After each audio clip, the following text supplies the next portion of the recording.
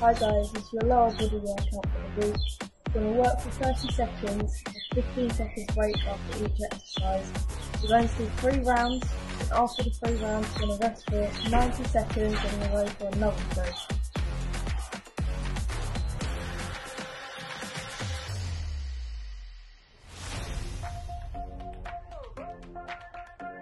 Next exercise, mountain climbers. Squat jump, really explode, sit back down and explode up. Going to jump as fast as you can, up the float. The final exercise is fire lunges.